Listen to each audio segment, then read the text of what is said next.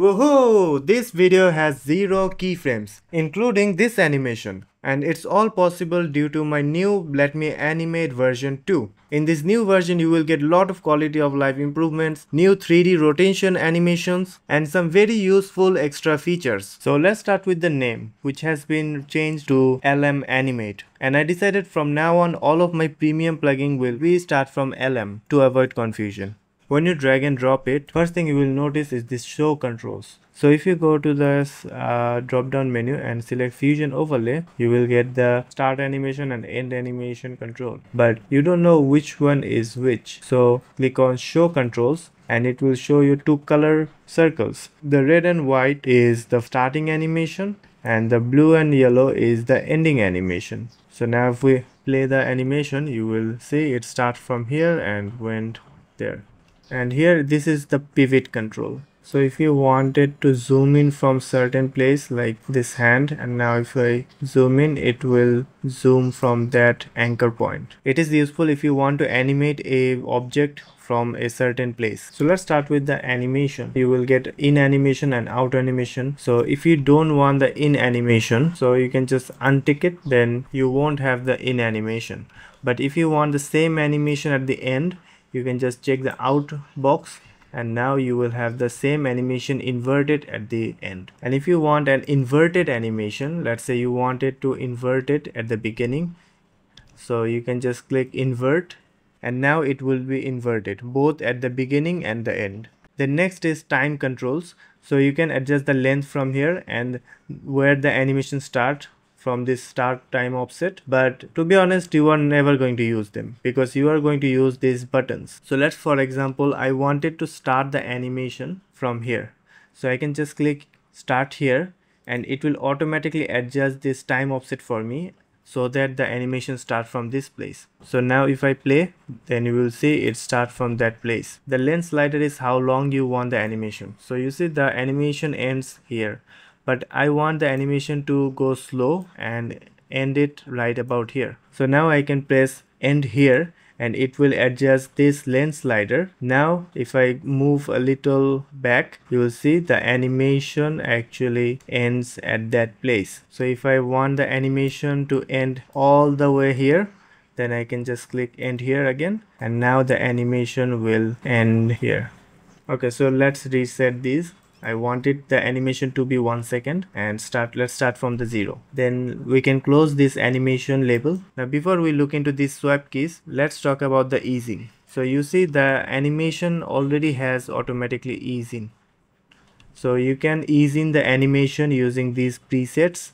So if I want back in and back out this is my favorite animation preset. So you will get this kind of animation. So you can very quickly change these animations. So from here you can also add the motion blur. Now let's talk about the swipe keys. It swipe between all the starting values with the end values and all the end values with the starting values. So if i uh, press this you see? Now how is that useful? So let's say you want to continue the animation from here. So you can make a cut. And now if I want the animation to start from here I can just click start here. I want the animation to invert it. So we have the invert here but we can use the swap key to quickly invert all the values. So now the animation goes like this. And the follower key also works in the similar way so the follower key, what it does is it copies all the end value to the starting value. So for example, I want the animation to continue from here. So I can make a cut here, then click start here, click the follow key and it will copy all the ending value to the starting value. So now I can continue the animation and if you're wondering why this square box is appearing it's because it's the mask value. So if you just go to the more section and just turn it on and turn it off it will go vanish. And at the end you get some extra features like shadow on. If you press that you will get shadow and all the shadow controls let's turn it off. And if you turn on shake it will add a subtle shake throughout your animation. So let's turn on this off. Now let's move on to the 3d section. So in the 3d section first you will get this sync option. So what it does it it sync all the timing and the easing option with the control page. So everything you set here it will also apply to the 3d section. So if you have that uh, starting at the beginning and then if you change the 3d y value then it will happen at the beginning and the duration also would match the control page which is 1 second. But what if you want a separate controller for 3D section? In that case just uncheck this sync option and you will get a separate ease in and the start and end value so you can start the 3d animation from here let's say. So the 3d animation would start from here to one second. And if you uh, open this 3d animation label you will get all the uh, time control. By the way if the sync option is on it will still show them but it won't work. When you turn off the sync option only then this option will work. This is a great way if you want to compare the animation timing with the control page and the 3d page. So if i turn it off it will move back to the 3d page timing. And if i turn it on it will go back to the control page timing. So it's great for comparing the timings.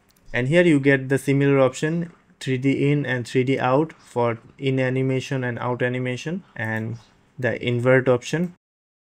And here you would get all the 3d necessary option like 3dx will rotate from top to bottom the y would be left and right and the z would be the rotation in the z axis. And you can change the orientation from here. If you want the order to be xyz or any other you can change it from here.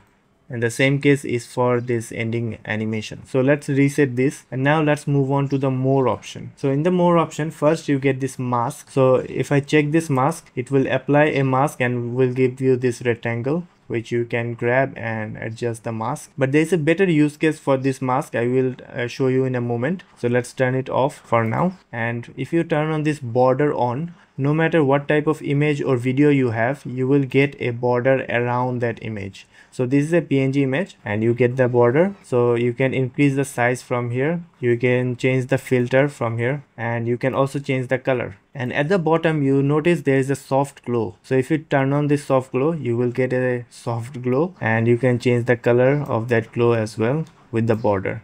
And you can as well increase the glow size and the gain everything and let's turn that off. Now let me show you the mask option. Why is this useful? So to showcase that i would need a different image. So here you see i have this image. Sometimes when you download an image like this you get a white background. In that case you can use this mask option and then adjust to get your content.